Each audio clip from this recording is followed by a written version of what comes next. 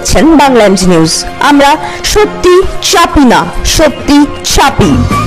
Please like and subscribe our channel for further updates নমস্কার, আপনারা দেখছেন বাংলা এমজি নিউজ আপনাদের সঙ্গে রয়েছে আমি রেশমা। যে খবরের দিকে নজর রাখব, গত দুদিনের টানা বৃষ্টিপাতে দুর্গাপুর, কাদারোড রিভার সাইড এলাকা জলমগ্ন প্রায় শতাধিক বাড়ি।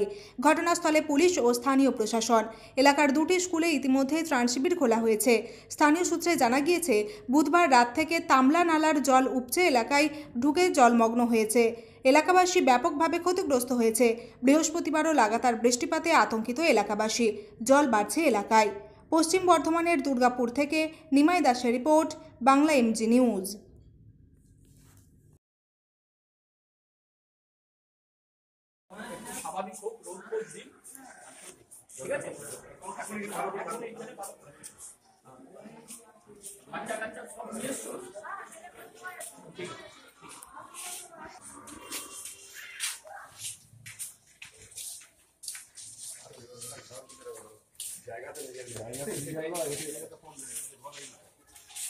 যা অবস্থা দেখলাম, মোটামুটি এখনও ওয়াটার লক হয়ে আছে এখনও। জল টোটালি পুরোপুরি কমেনি এখনও, কিছুটা এখনও বিপদসীমার মধ্যে আছে।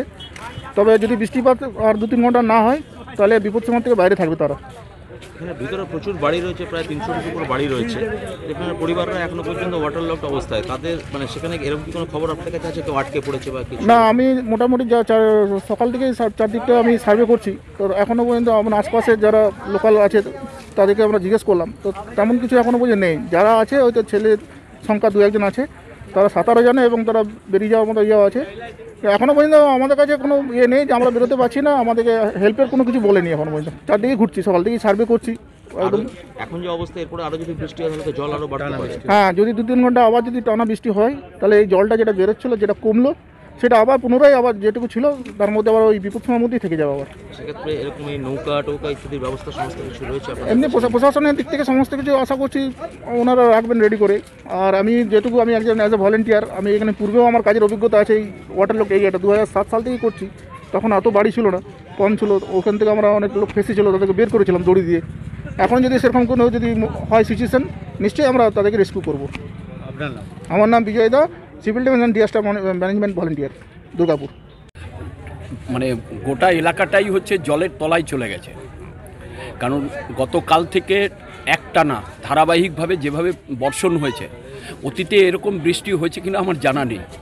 তো প্রবল বর্ষণের ফলে সমস্ত ড্রেনগুলোর যা ক্যাপাসিটি জল ধারণের, তার থেকে অনেক বেশি থ্রি টাইমস বেশি হচ্ছে বৃষ্টিপাত হয়েছে। তার ফলে ড্রেনগুলো সব উপচে পড়েছে ওভারফ্লো করছে এবং বাড়িতে জল ঢুকে গেছে। অনেক মানুষকে রেস্কিউ করা হয়েছে নিয়ার বাই স্কুলের রেস্কিউ করা হয়েছে স্কুলগুলোতে তাদেরকে থাকার জায়গা করে দেওয়া হয়েছে। আমি গতকাল রাত্রি একটা পর্যন্ত তেতাল্লিশ নম্বর ওয়ার্ড, তিরিশ নম্বর ওয়ার্ড, একচল্লিশ নম্বর ওয়ার্ড, একত্রিশ নম্বর ওয়ার্ড, আমি বিভিন্ন জায়গায় ঘুরেছি। তো প্রবল বর্ষণের ফলে মানে যেভাবে মানুষের বাড়িতে জল ঢুকেছে, যেভাবে মানুষকে হচ্ছে ওই, ইয়ের উপরে, খাটের উপরে রাত কাটাতে হয়েছে যেভাবে মাটির তলা থেকে জল উঠে আসছে বস্তি এলাকাগুলোতে মানে জল ঢোকা তো একটা প্রবলেম সমস্যা মাটির ভেতর থেকে জল উঠে আসছে এবং সেই জলটাও হচ্ছে এক কোমর জল। হলো অনেকগুলো কারণ আছে তার মধ্যে একটা এনক্রোচমেন্ট তো অবশ্যই একটা কারণ অন্যতম কারণ।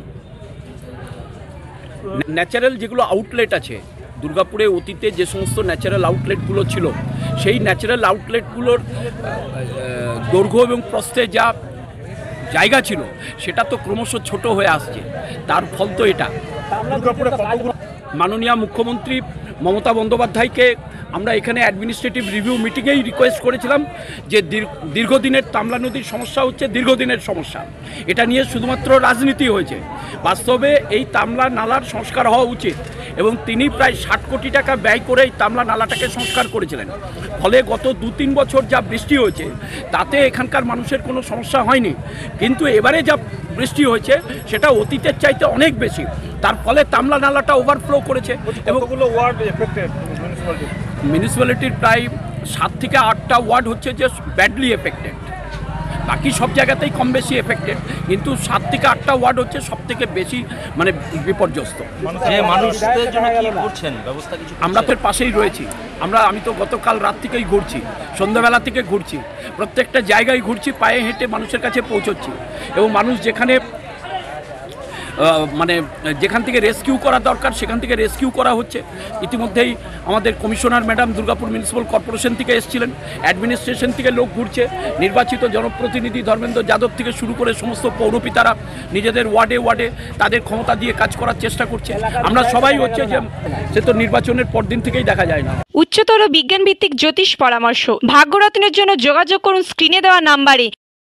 কিওর অ্যান্ড কেয়ার ফিজিওথেরাপির রিহ্যাবিলিটেশন সেন্টার। একই ছাদের নিচে উন্নত মানের ফিজিওথেরাপির একাধিক পরিষেবা পেতে যোগাযোগ করুন। মহিলা ও পুরুষদের পৃথক পরিষেবা দেওয়া হয়।